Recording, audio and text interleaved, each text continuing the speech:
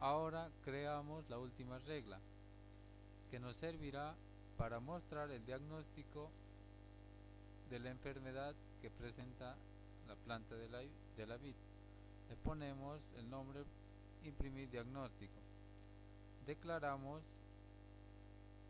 salience igual a 10 y la variable enfermedad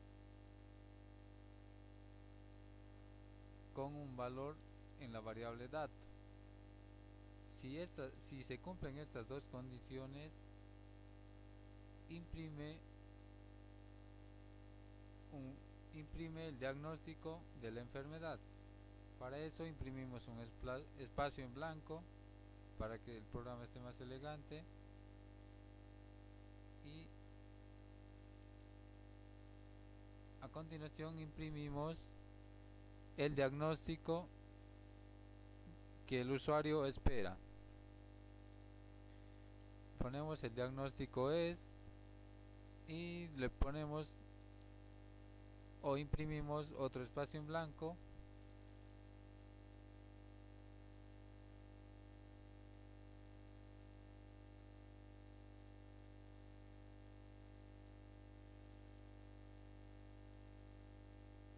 Y esto y esto imprime el diagnóstico final o el diagnóstico esperado por el usuario con el nombre de la enfermedad que se detectó.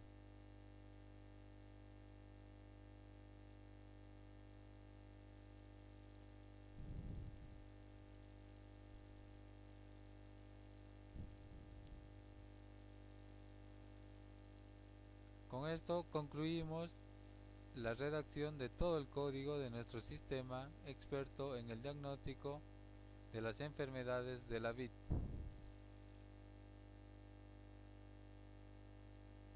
Procedemos a guardar este archivo que acabamos de editar para posteriormente hacerlo correr.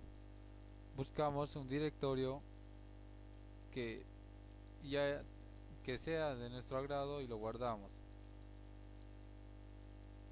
con el nombre de Sistema de Detección de Enfermedades de la Vid.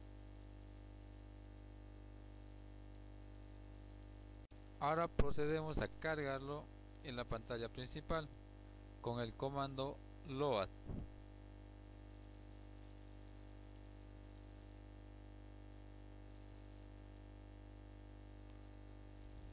Y, y si la respuesta emitida por el programa es true, quiere decir que nuestro sistema o nuestro programa no presenta ningún error y está listo para ser ejecutado.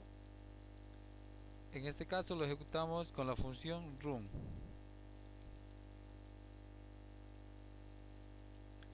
Y lo que se muestra es el título que pusimos Sistema Experto de Detección de Enfermedades de la Vid y seguido de la primera pregunta que era la hoja tiene un buen color verduzco.